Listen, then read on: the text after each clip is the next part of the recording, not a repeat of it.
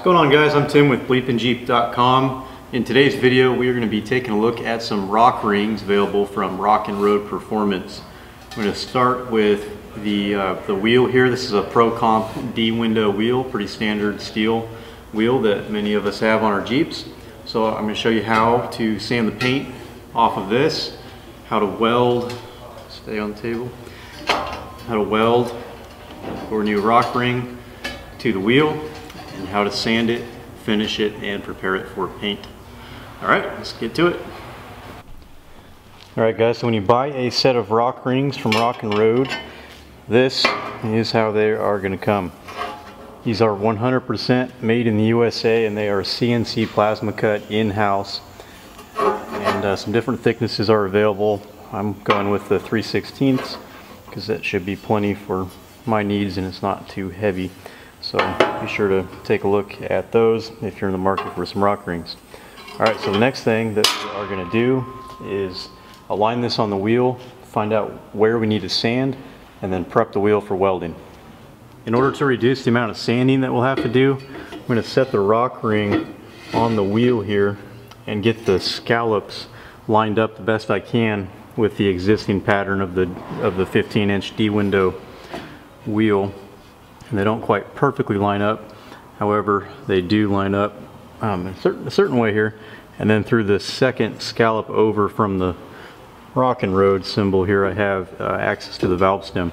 So I'm just making sure that I do all five of these wheels exactly the same.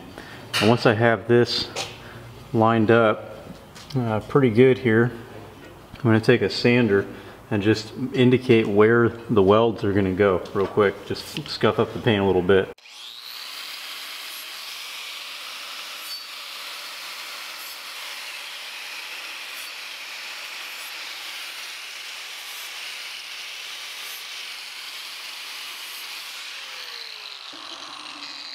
Using a fresh flap wheel makes pretty easy work of removing the paint off these wheels.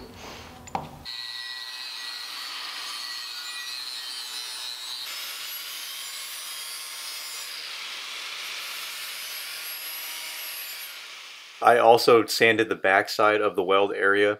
I found that when you weld on top of this paint, it tends to catch on fire, drip, and smoke a lot, and none of us need to be breathing those kind of fumes. So go ahead and do this as well. So I have the rock ring placed back on top of the wheel and you can kind of see the alignment that uh, I'm going for now. And this is ready to weld. We have everything cleaned up. Now I'm just going to take some clamps, lightly clamp this down, tack all the corners, then we'll burn this on.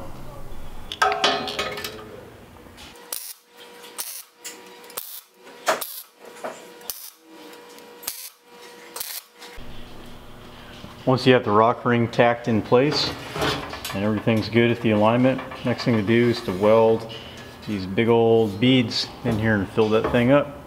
These take quite a while and you want to try to fill this as high as you can because I'm not sure if you can see on camera, but those go in pretty deep. And if you don't fill this um, enough on the first pass, you're probably going to have a bunch of holes left that you'll have to go back and sand if you care about the way they look. Um, or if you can weld these good enough, then you can just lay a nice bead in there and you don't necessarily have to sand it out at all. Uh, my beads were not so hot on my first wheel, so I decided to sand it, and now because of that, I'm sanding all five of these, which is way more work and not necessary if you can make a nice bead. But that is the direction I'm going, and they look pretty sweet after all that work is done. All right, let's fire up the welder and start laying some metal.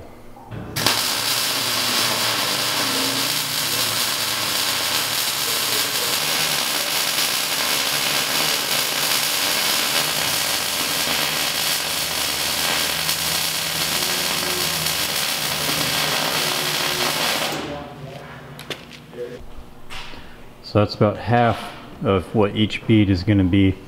Uh, I'm going to sand all this out like I was saying. So basically I'll do that. This half, I'll come into it with this one, repeat that on these particular rings uh, four times, four, four welds that big. And then once I am completely done with the welding, then uh, it's going to be time to sand these all the way down and make them look nice and pretty like that one. All right, so here it is, freshly welded, still too hot to touch. Next thing to do is to sand this down after it's cool a little bit. I'm gonna do that just with a flap disc.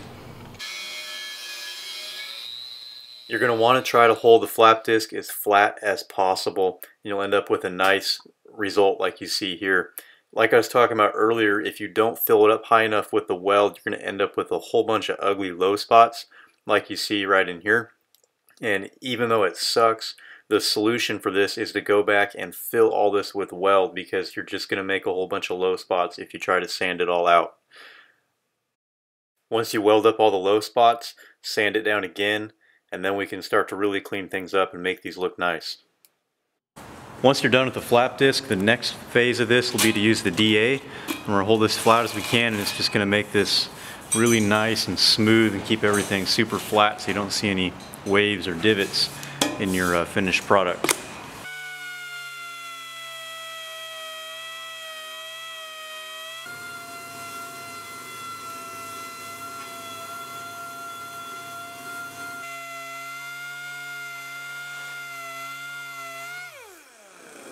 Alright guys, after spending a few minutes of DAing on the wheel, you end up with this. I used uh, 40 grit DA pads and it worked pretty good. Got most of the sander marks out. And I have the light shining this way across it so you can see that it is pretty flat. I have the other four rock rings welded, sanded, painted over there um, by the Jeep, drying. This is the last one. And the only thing that I can say that I was doing special on these as I was starting with the paint in here and just making sure I really coat the back side of the ring and all the cracks where any water might happen to sit. And uh, then after that, flip it around and blast the front real quick. And that is it. Um, I did wipe these down with some denatured alcohol after the DA process just to get rid of any oils. Alright guys, that is going to be it for today's video. If you are interested in a set of rock rings from Rock and Road Performance, be sure to check out their website, rockandroadperformance.com. And as usual, there are links in the description below. Uh, at the time of this video, these rings are $35 a piece, set of four for 140 uh, or you can have your wheels shipped to Rock and Road and they will clean the paint off your wheel, sand it, weld these on, DAM, do everything you just saw I myself do in the video for $120 per wheel, including rock rings for a 15 inch wheel. Alright guys, well like normal, please thumbs up our videos, like, share with your friends, etc. And if you haven't, please check out bleepinjeep.com and be sure to hit the subscribe button. After the paint dried on all five of these rock rings, my buddy Greg took these over to Duncan's Automotive in Citrus Heights, California, where he mounted and bounced all five of these Treadwright tires. These 33 1250s will be going on my Jeep Project Green Machine, so be sure to check out that playlist for all the videos I've done, uh, done on it in the past, and there's going to be a lot more to come in the next few weeks. All five of these tires bounced real nicely, and I am really looking forward to getting these on the Jeep and giving you guys a real world review of these Treadwright tires. Alright guys, see you in the next video. Thanks.